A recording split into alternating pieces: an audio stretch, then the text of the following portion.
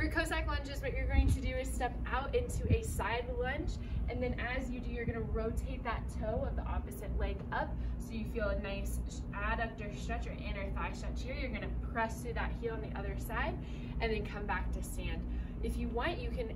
easily go from side to side, coming in as low as you can go for that ankle mobility on the side that your leg is bent and then dig through that heel, getting that glute activation for a good warm up.